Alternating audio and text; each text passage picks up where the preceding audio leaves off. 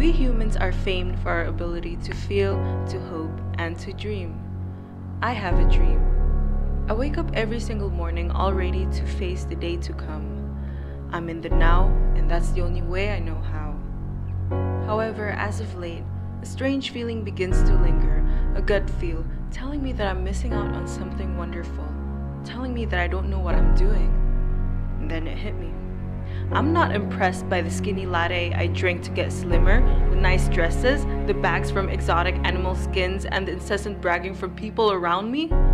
I look older than my dad, I weigh more than my mom, and I don't know where I went wrong.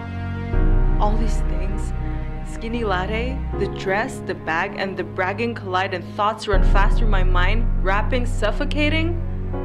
Today's full, but today's not enough.